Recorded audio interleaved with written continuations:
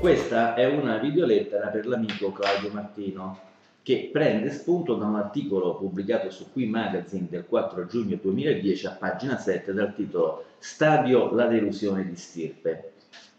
L'articolo prende spunto da una dichiarazione di Stirpe, il patrono del Frosinone, subito dopo eh, la salvezza mh, e la permanenza in Serie B del Frosinone, che dice le istituzioni devono vergognarsi in riferimento alla annosa vicenda del progetto degli stati. Sullo stadio la verità scomoda che non viene fuori ma che è sotto gli occhi di tutti è la seguente.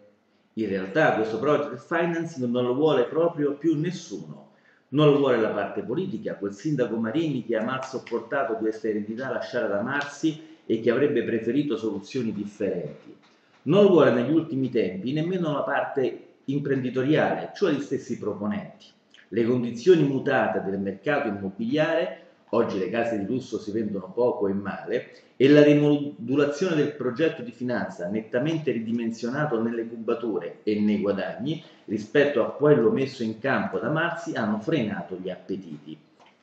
Continua più avanti l'articolista. Del resto la vicenda del multipiano di Viale Mazzini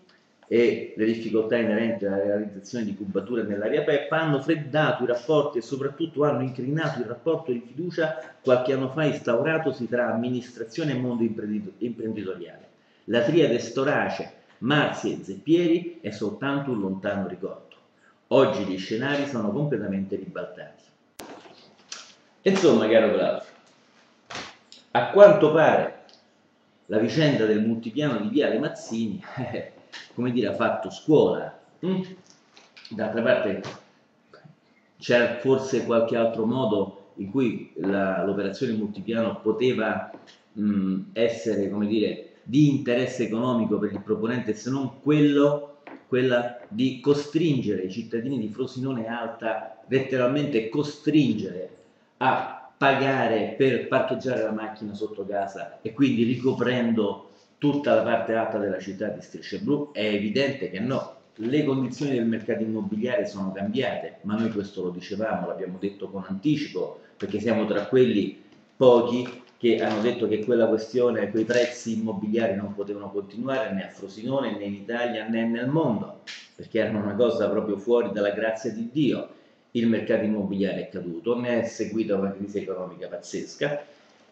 e adesso Stirpe dice che le istituzioni dovrebbero vergognarsi, Stirpe dovrebbe ringraziare quelli che si sono opposti a quel progetto, perché oggi ci ritroveremmo al centro di Frosinone un cantiere, un cantiere incompleto, palazzoni non terminati e eventualmente dovessero terminati sarebbero invenduti. E questo sarebbe andato, come dire, a danno dello stesso proponente che si sarebbe ritrovato con delle cubature che avrebbe dovuto vendere sotto prezzo per di più per di più andando a, andando a ulteriormente eh, aggravare una situazione urbanistica come quella di Frosinone che ha bisogno di spazi verdi e certamente non di nuove cubature. Insomma, caro Claudio, abbiamo avuto, come dire, abbiamo, dobbiamo ricoprire la parte dei fessi perché si sa che in Italia sono i fessi che hanno ragione, però noi siamo contenti di essere stati fessi, no? Alla fin fine nessuno ci può dire ah voi siete stati tra quelli avete cambiato idea. Noi sempre abbiamo detto che il multipiano di Viale Mazzini per, per, come era concepito come progetto cioè quello di far pagare per 30 anni costringere a pagare i cittadini per 30 anni per parcheggiare sotto casa era una cosa inaccettabile che avrebbe prodotto una rivolta o l'abbandono della parte alta di Frosinone e infatti non si è potuto fare e che il progetto degli stati, questa idea di scambiare